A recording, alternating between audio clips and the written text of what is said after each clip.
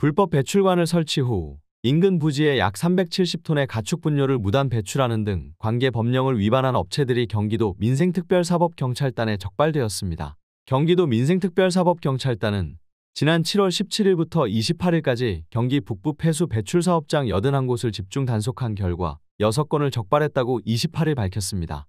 위반 내용은 가축 분뇨를 불법으로 배출하는 배관 설치한 건, 폐유를 공공수역으로 유출한 행위한 건, 무허가 폐수 배출 시설 설치 운영 행위한 건, 측정 결과를 거짓으로 작성하는 행위 3건입니다. 주요 적발 사례를 보면 경기 북부의 A 농장은 2022년 8월부터 관청에서 배출시설 설치 허가를 받지 않은 채 불법 배출관을 설치한 후 가축분뇨 약 370톤을 처리시설에 유입시키지 않고 인근 부지로 배출하다가 적발되었습니다.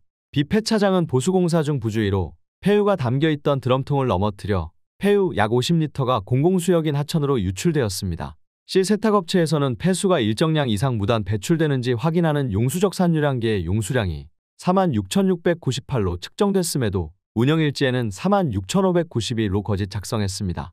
가축분뇨법에 따라 배출시설 설치 허가를 받지 않은 채 가축분뇨를 불법으로 배출하는 배관을 설치한 자는 5년 이하의 징역 또는 5천만 원 이하의 벌금이 부과되고 물안경보전법에 따라 업무상 과실 또는 중과실로 지정 폐기물인 폐유를 공공수역으로 유출한 자는 1년 이하의 징역 또는 1천만 원 이하의 벌금이 부과되며 측정기기의 측정 결과를 거짓으로 작성하는 행위는 300만 원 이하의 과태료가 부과됩니다. 한편 홍은기 경기도 특별사법경찰단장은 폐수 및 가축 분뇨를 불법으로 처리하는 업체의 경각심을 일깨우고 적법하게 처리하기를 기대한다며 앞으로 시군과의 협업으로 지속적인 단속을 통해 환경오염 방지에 최선을 다하겠다라고 말했습니다. 내외뉴스통신 신선호 기자입니다.